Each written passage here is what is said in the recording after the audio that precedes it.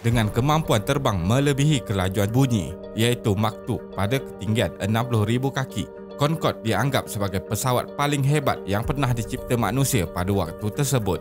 Namun, selepas 27 tahun berkhidmat, pesawat supersonik Concorde telah melakukan pendaratannya yang terakhir pada tahun 2003. Penamatan ini mula dilakukan oleh Air France terlebih dahulu dan kemudiannya diikuti oleh British Airways.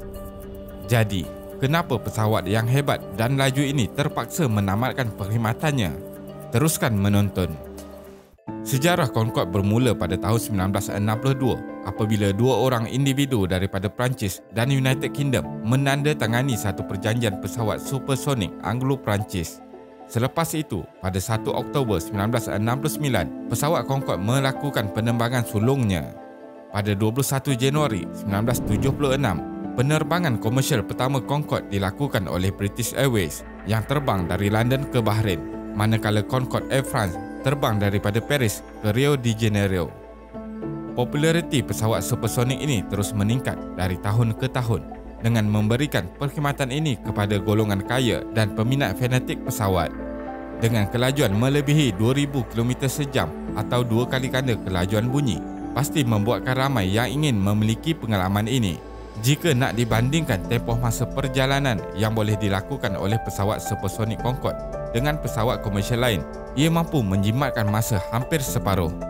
Penerbangan dari London ke New York dengan pesawat komersial sekarang mengambil masa 7 jam. Tetapi dengan pesawat supersonik ini, ia hanya mengambil masa 3 jam setengah sahaja. Walaupun pesawat supersonik ini mampu terbang dengan sangat pantas, ia memerlukan penggunaan bahan api yang banyak Disebabkan kenaikan harga minyak yang mendadak selepas tahun 1970-an, ia membuatkan penggunaan pesawat ini secara komersial tidak begitu menguntungkan. Dan disebabkan penggunaan bahan api yang banyak dalam penerbangannya, pesawat ini tidak mampu terbang dengan lebih jauh lagi berbanding pesawat komersial yang kita ada sekarang. Jika kita lihat gambar rajah ini, jarak penerbangan pesawat Concorde hanyalah sekitar 7,000 km sahaja berbanding Boeing 747 sekitar 14,000 km. Selain itu, pesawat Concorde hanya mampu membawa penumpang sekitar 100 orang sahaja menyebabkan harga tiket menjadi mahal dan boleh mencecah sehingga 12,000 US dollar. Pendidikan mengenai penjagaan alam sekitar berkembang pesat pada tahun 1970-an dan ini menyebabkan beberapa penunjuk perasaan menentang pembakaran bahan bakar Concorde yang banyak. Mereka sentiasa menunggu di lapangan terbang dan membuat bantahan secara terbuka semasa pesawat supersonik ini mendarat. Faktor lain dan antara faktor yang paling popular adalah sonic boom. Sonic boom adalah bunyi letupan kuat yang disebabkan oleh gelombang kejutan daripada sesuatu objek atau pesawat yang bergerak pantas daripada kelajuan bunyi. Sonic boom ini boleh menyebabkan pencemaran bunyi yang mengakibatkan cermin rumah dan bangunan pecah. Disebabkan itu, banyak negara melarang pesawat ini terbang di atas ruang udara mereka. Keadaan Concorde bertambah buruk selepas berlakunya tragedi dahsyat pada tahun 2000 di mana sebuah pesawat Air France Concorde terhempas sejurus berlepas daripada Paris. Walaupun sejarah pengangkutan pesawat ini boleh dikatakan dalam keadaan memuaskan, namun berlakunya satu-satunya kemalangan ini telah mengubah segala persepsi terhadap Concorde.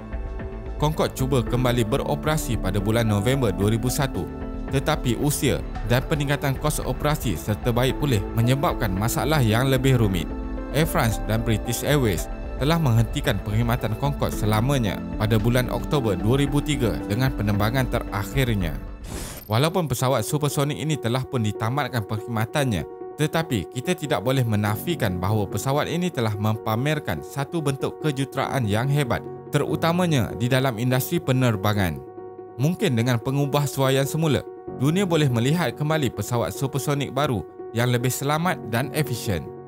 Terima kasih kerana menonton dan jangan lupa subscribe. Jumpa lagi.